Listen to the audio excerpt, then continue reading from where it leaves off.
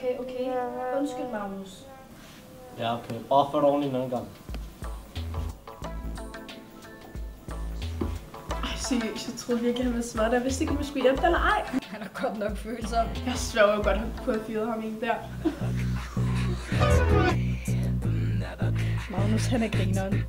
Hvad kan man sige om en dreng, som vil være godfather i HBG-banden? Dreng, som hænger ud i busstopstedet og kaster sten efter bussen, men det er bare to af, som passerer.